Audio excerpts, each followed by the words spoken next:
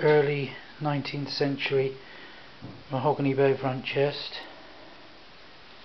It's fitted two small drawers to the top, full length of course, but small as in half size.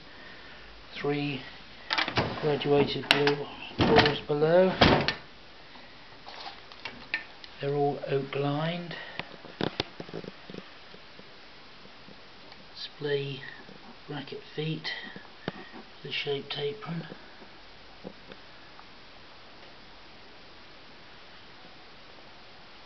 This multi-reed edge to the bow.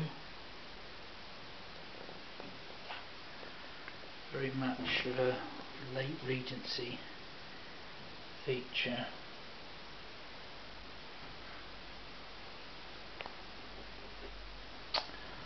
Top is cross-banded with an ebony line edging. Got edge, no, stringing really, it's the black line would be ebony stringing. And then a nice figured mahogany top.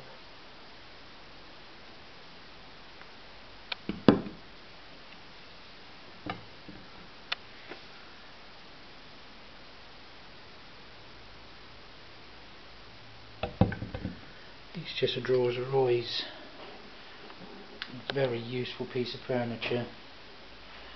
Totally useful, no wasted space, lots of capacity.